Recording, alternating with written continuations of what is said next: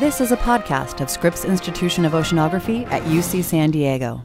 To learn more about how you can support Scripps, visit us online at scripps.ucsd.edu. This coming March marks the 50th anniversary of the Keeling Curve, a depiction of rising carbon dioxide levels in the atmosphere that has become an iconic image of science. Just as much as models of the double helix structure of DNA or Darwin's finch sketches, the curve has come to represent a moment when our understanding of nature changed profoundly. Its namesake is the late Charles David Keeling, who began a record atop Hawaii's Mauna Loa that went on to serve as an early warning that humans are capable of changing nature on a global scale. Keeling inspired a legion of younger scientists, like Scripps's Andrew Dickson, to make similar measurements in the ocean to help answer more and more complicated questions about climate change.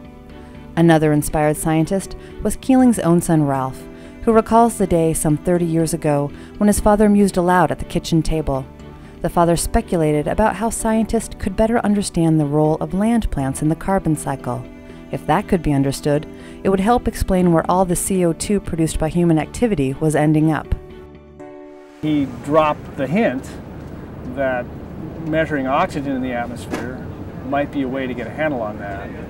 This wasn't by way of encouraging me to get into the field or even do this particular piece of work, but it, I was absorbing ideas from different directions and that stuck in my mind. And many years later, when I was in graduate school, I realized that I might have an idea of how to actually measure these changes in oxygen and, and, and viewed it as something that would be fun to work on. The program we're now involved with at making uh, CO2 measurements in the oceans and most importantly perhaps reference materials for oceanic CO2 measurements first started in discussions I had with uh, Charles David Keeling in the 1980s, where he pointed out that there was a real need for standards for CO2 measurement so that it would be practical to mount a global study of the ocean without relying purely on the measurements of one single laboratory.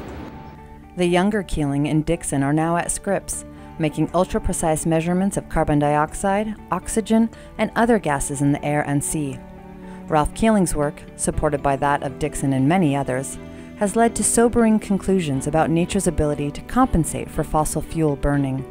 But the researchers say their work at least makes it clear what options society has. The earliest question was really, it was apparent looking at the atmospheric record from Mauna Loa that not all the CO2 that was known to be put into the atmosphere was staying in the atmosphere. It was obviously going somewhere else, and we had no idea how much was going into the oceans or how much was going into land plants.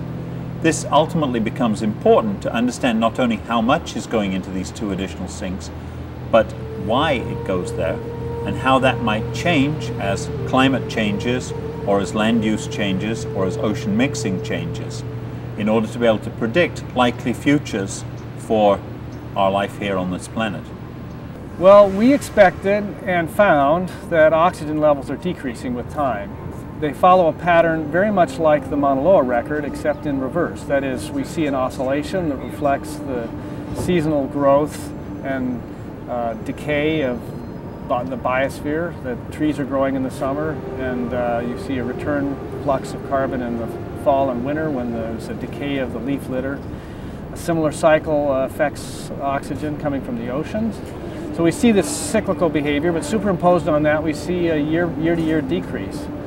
And that decrease is very nearly explained by the amount of fuel humans are burning every year, the amount of fossil fuel humans are burning. The work of Ralph has shown that the plants themselves are actually growing a little more and taking up more CO2, but the lion's share is now starting to accumulate in the atmosphere. And the increases in the atmosphere are speeding up. The extent of increase is speeding up with time, suggesting that these two major sinks, land plants and the ocean, really are not capable of keeping up or mitigating the human effect on the atmosphere. I think the bottom line is that we're not going to get a control on this unless we curtail fossil fuel burning. That's the real bottom line. I mean, we could grow trees to help a little bit, but it's not going to stop the trend. And it's not really going to reverse it, and it's not going to compensate for the huge amount of fossil fuel that we potentially could go through.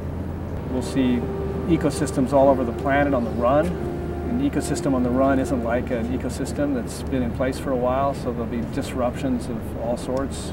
There'll be human migration because people will not be, not be able to live off the land in the way they did before, mostly touching on the developing world, I think, but uh, it'll affect all countries. Um, my personal fear is that the pressure to migrate will trigger conflict.